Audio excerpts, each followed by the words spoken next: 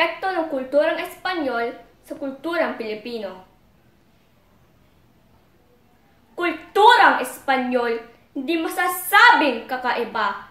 Kaya mga Pilipino, di nahirapang umangko sa kultura nila.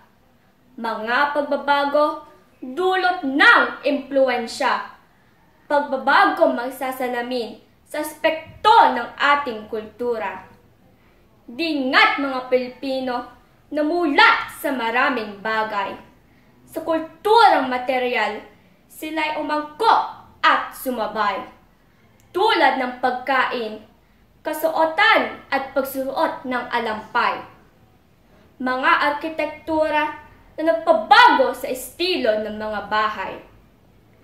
Kulturang di material kasama ang reliyon. Paglaganap ng Kristyanismo at pagsagawa ng orasyon. Pagpapahalaga sa sakramento tulad ng komunyon. At pagdiriwang sa kaarawan ng ating Panginoon. Mga Pilipino'y hinasa sa maraming kaalaman, pagtatatag ng iba't ibang pamantasan, maging sa wika, musikat, panitikan, sa sayaw at sining, hindi malilimutan. Bagamat naghirap ang kapwang Pilipino, nakaranas ng pangyayaring negatibo. Kulturang Espanyol, yan ang epekto.